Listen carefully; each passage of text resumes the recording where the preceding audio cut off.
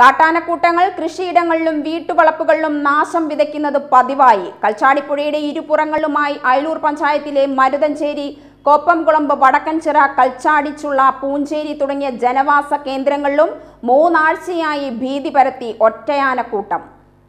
ഞായറാഴ്ച രാത്രിയിലും തിങ്കളാഴ്ച പുലർച്ചെയുമായി വീട്ടുവളപ്പിലും കൃഷിയിടങ്ങളിലുമായി വൻ കൃഷിനാശമാണ് കാട്ടാനക്കൂട്ടമുണ്ടാക്കിയത് തിങ്കളാഴ്ച അതിരാവിലെ മരുതഞ്ചേരിയിലെ നാരായണനുണ്ണി അബ്ദുൾ റഹ്മാൻ മുത്തഹമ്മദ് തുടങ്ങിയവരുടെ വളപ്പിലുള്ള അറുപത്തിനാല് കുലച്ച പൂവൻ വാഴകളും മറ്റും നശിപ്പിച്ചു.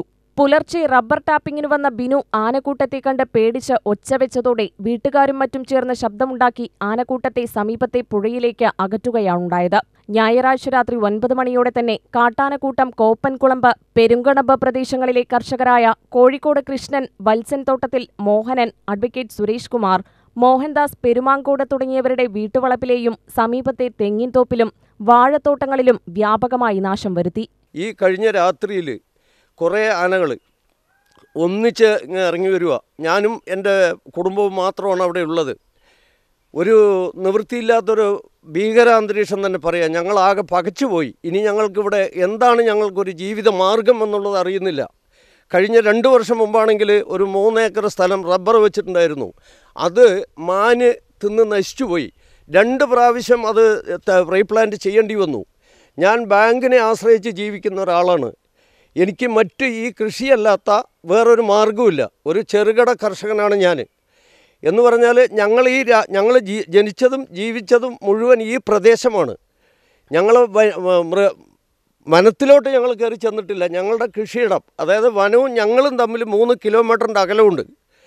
സന്ധ്യ അഞ്ച് മണി ആറ് മണി കഴിഞ്ഞാൽ സന്ധ്യ ആയി കഴിഞ്ഞാൽ ഇവിടെ മൃഗങ്ങളുടെ വിളയാട്ടമാണ്. കർഷകൻ നട്ടല്ലാണ് എന്ന് പറയുന്നുണ്ടെങ്കിലും കർഷകൻ നട്ടൽ പോയിട്ട് കർഷകൻ എന്നൊരു വിഭാഗം ഭൂമിയിൽ ഇല്ലാത്തൊരവസ്ഥയിലേക്കാണ് ഞങ്ങളുടെ ഈ പ്രദേശം മാറിക്കൊണ്ടിരിക്കുന്നത്. പ്ലാവുകളിലെ ചക്കയും കൃഷിസ്ഥലങ്ങളിലെ കമ്പിവേലി നെറ്റുവേലി തുടങ്ങിയവയും വൃക്ഷവിളകൾ വരെ വ്യാപക തോതിൽ ഒന്നര കിലോമീറ്റർ ദൂരത്തിൽ കൃഷിസ്ഥലങ്ങളിൽ നാശം വരുത്തി.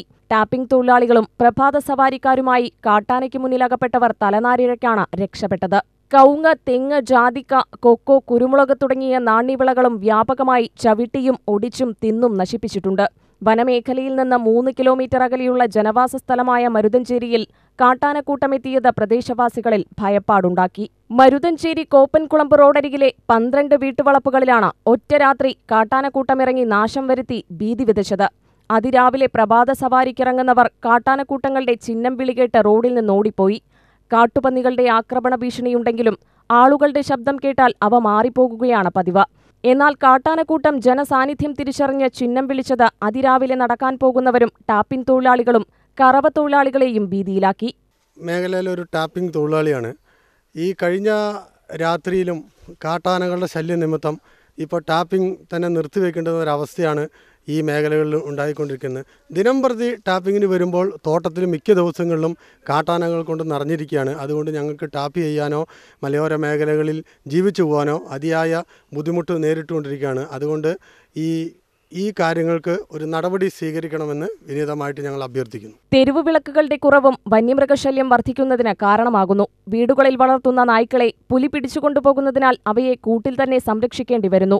ഇത് കാട്ടാനക്കൂട്ടത്തിന് വീട്ടുവളപ്പിൽ കയറാൻ സൗകര്യമായി. വനമേഖലയിലെ സൗരോർജ വേലികൾ കാട്ടാനകൾ കാട്ടുപന്നി തുടങ്ങിയ മൃഗങ്ങൾക്കും തടസ്സമല്ലാതായി മാറി. തുച്ഛമായ നഷ്ടപരിഹാരത്തിനായി വരുമാനമാർഗങ്ങൾ നഷ്ടപ്പെടുത്തി വനം വകുപ്പിൽ ആരും നഷ്ടപരിഹാരത്തിനായി പോകാത്തത് വനമധികൃതർ സൗകര്യമായി കണക്കാക്കുന്നതായി പ്രദേശവാസികൾ ആക്ഷേപമുന്നയിച്ചു ഞങ്ങൾക്ക് ഇവിടെയുള്ള മരുതഞ്ചേരി ചേവുണ്ണി നെരങ്ങമ്പാറ കോപ്പംകുളമ്പ് എന്നീ ഭാഗങ്ങൾ പൂഞ്ചേരി എന്നീ ഭാഗങ്ങളിലുള്ള കർഷകർക്ക് ഭയങ്കര ബുദ്ധിമുട്ടാണ് ജനങ്ങൾക്കും ബുദ്ധിമുട്ടാണ്. അപ്പോൾ എന്ത് തന്നെയായിരുന്നു നമുക്ക് ഇത് ഫോറസ്റ്റിന്റെ വകുപ്പിൽ നിന്നിട്ടും അതുമാതിരി സർക്കാരിന്റെ ഭാഗത്തു നിന്നിട്ടും ഇതിന് വേണ്ട പ്രതികരണം എം എൽ എയുടെയും എം പിയുടെയും എല്ലാവരുടെയും സഹകരണത്തോടുകൂടി ഞങ്ങൾക്ക് ഇവിടെ ജീവിക്കാനുള്ള ഒരു അവസരം ഉണ്ടാക്കി തരണമെന്ന് അഭ്യർത്ഥി വളരെയധികം അഭ്യർത്ഥിച്ചുകൊള്ളുന്നു. ആനക്കൂട്ടം പതിവായി വരുന്ന വനമേഖലയോട് ചേർന്ന് വനം ദ്രുതകർമ്മസേനയെ പ്രദേശത്ത് സ്ഥിരമായി നിർത്തി രാത്രികാലങ്ങളിൽ പട്രോളിംഗ് നടത്തി പടക്കവും വിവിധതരം ലൈറ്റുകളും ഉപയോഗിച്ച് കാട്ടാനകളെ വനമേഖലയിൽ നിന്നും പുറത്തിറങ്ങുന്നത് തടയുന്നതിനുള്ള മാർഗങ്ങൾ വനം വകുപ്പ് സ്വീകരിക്കണമെന്നാണ് പ്രദേശവാസികളുടെ ആവശ്യം. ഇപ്പം ഇന്ന് രാവിലെ ഇന്ന് രാവിലെ ടാപ്പിങ്ങിന് വരുമ്പോഴാണ് ഇത് കണ്ടിരിക്കുന്നത്. ഇപ്പം ഇന്നും ഇന്നലെ ആനയുടെ ശല്യായം കൊണ്ട് ഇപ്പോൾ വേറെ ഇപ്പോൾ ഒന്നും ചെയ്യാൻ പറ്റുന്നില്ല. ഫോറസ്റ്റുകാരുടെ ആറ് ആർ ആർ ടി എന്നില്ലെങ്കിൽ അവർ വന്നിട്ട് പെട്രോളിങ്ങിനോ ഒരു പടക്കം പൊട്ടിക്കലോ അല്ലെങ്കിൽ പടക്കം എന്തെങ്കിലും ഞങ്ങൾക്കൊരു ഇത് ചെയ്തു തരണം. ഞങ്ങളുടെ ജീവൻ രക്ഷിക്കാനായിട്ട് എന്തെങ്കിലും ഒരു ഇത് ഫോറസ്റ്റിൽ നിന്ന് വകുപ്പിൽ നിന്ന് ഇപ്പം അധികാരം കൊണ്ട് ഇപ്പോൾ രണ്ട് ദിവസമായിട്ട് ടാപ്പ് ചെയ്യും. മൂന്ന് തൊഴിൽ സംബന്ധമായിട്ട് ഇപ്പോൾ ബുദ്ധിമുട്ടാണ്. U T V news Palakkad.